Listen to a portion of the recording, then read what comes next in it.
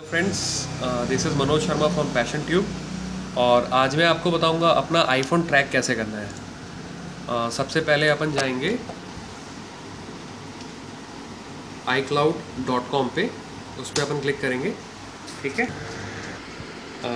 आई cloud open करने के बाद हम अपनी एप्पल आईडी डालेंगे।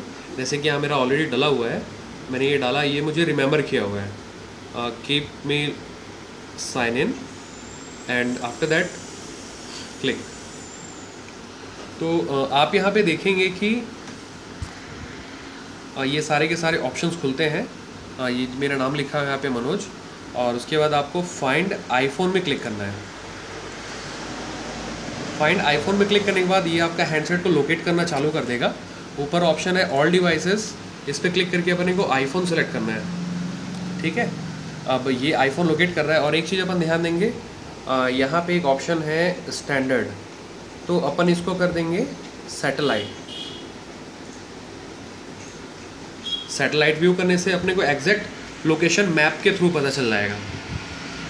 और अपना आईफोन लोकेट कर रहा है यहाँ पे तीन ऑप्शन है play sound lost mode and erase iPhone और अपना आईफोन लोकेट हो रहा है अभी फ़िलहाल. वेट करते हैं अपन. जैसे आप यहाँ पे शायद देख पाएँगे, यहाँ पे लिखा है आईफोन वन मिनट अगो ठीक है? और ये अपना सेटेलाइट व्यू ऑन हो रहा है। नेट स्लो है मेरे ख्याल से।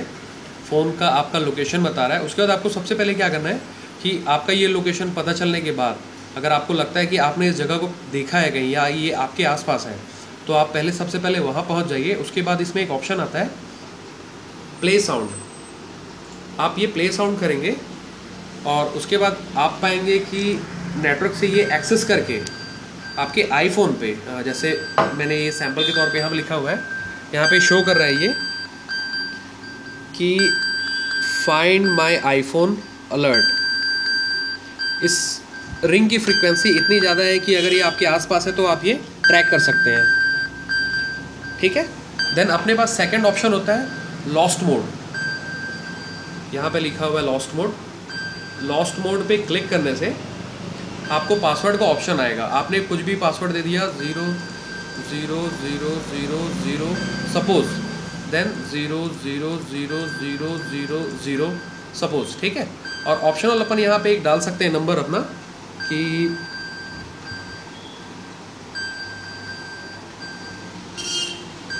अभी ये डिस्प्ले होगा, देखिए।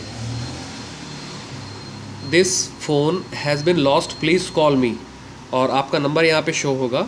सपोज़ अगर वो अच्छा बंदा है और उसने इस मैसेज को देखा, हो सकता है वो कॉल करके आपको रिटर्न कर दे आपका हैंडसेट और आपने अपन, ने पासवर्ड डाला था zero zero zero zero zero eight times था वो सॉरी सिक्स टाइम था।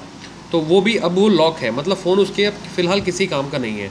अगर उसने आपका मैसेज पढ़ा है this phone has been lost please call me वो अगर वो आपको कॉल करता है तो मे भी आपका फ़ोन फिर से मिल जाए।